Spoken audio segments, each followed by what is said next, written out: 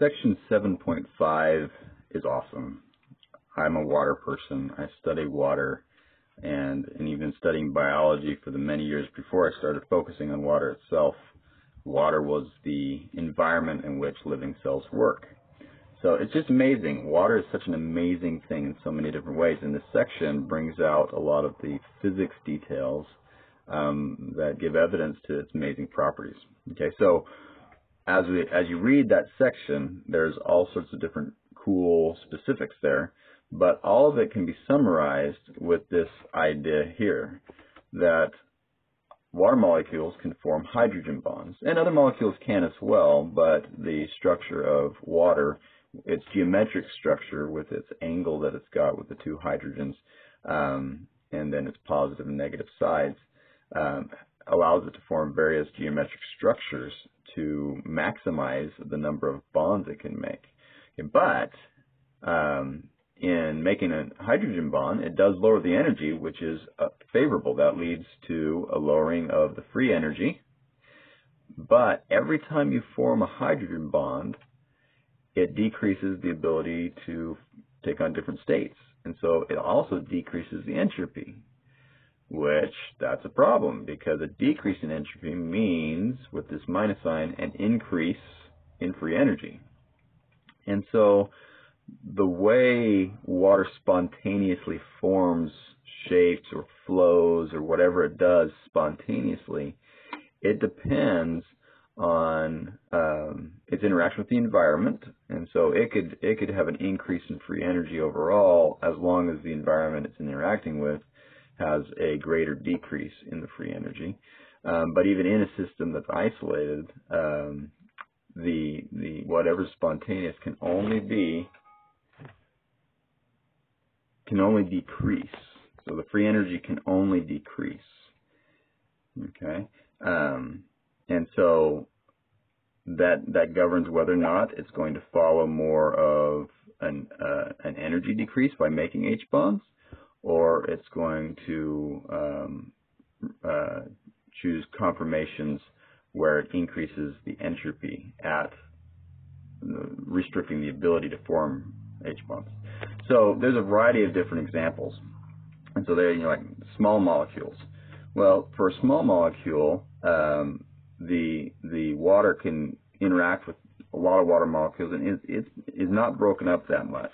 So it can create a heck of a lot of um, of the hydrogen bonds, which would um, then decrease the energy quite a bit without too much loss because they can still kind of wiggle around while quickly forming and you know breaking and forming those bonds.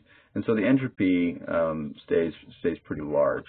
And so small molecules can be uh, um, um, uh, uh, sorry, words skipping me right now. Um, so they're soluble. Sorry, uh, small molecules are soluble decently in water. Now, um, it also depends on the type of molecule, which we'll get to in a second.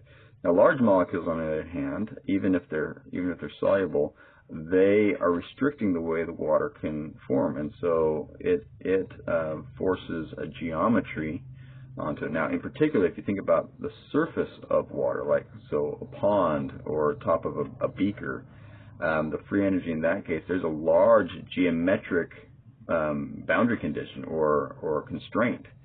And so because of that, um, it imposes a significant um, uh, uh, geometrical restriction, which then causes the entropy to decrease a lot, which would generally be unfavorable, which implies something else has to be there to make it spontaneous and natural. And that's for like a pond or a beaker full of water. That's the gravitational force that's low, lowering the gravitational potential energy. Okay, so that would be included in that energy.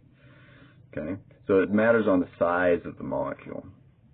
Another thing is that if the molecule is polar, well, that means that the water molecule doesn't have to arrange itself in a particular way because it could it could point its polar um, polar side to the to the molecule, and so it's not restricted to point in a specific way around the molecule. And so in this case, you can form a lot of um, the hydrogen bonds um, while also allowing um, different different geometries, which allows a greater entropy. Now, a nonpolar molecule is the opposite of that. Um, it, the, the hydrogen or the water molecule has to have a certain orientation around the nonpolar molecule, and therefore there's less less positions available, and therefore uh, that has a huge entropic penalty. The entropy um, goes down quite a bit, and therefore the free energy goes up, and the the number of bonds that were able to be made are still still low. So that's not favorable. What that means is nonpolar molecules aren't very soluble. So that's why they come out of the water, so that the water can try and minimize its free energy. So it's, it's an entropy or energy-driven free energy reduction that makes things soluble or non-soluble. Okay, now, if you combine things like nonpolar molecule and a large molecule, um, you'll see that a large nonpolar molecule is much less soluble than a small nonpolar molecule because it's proportional to the surface area and how many hydrogen bonds you're disrupting and how much geometry you're imposing onto it.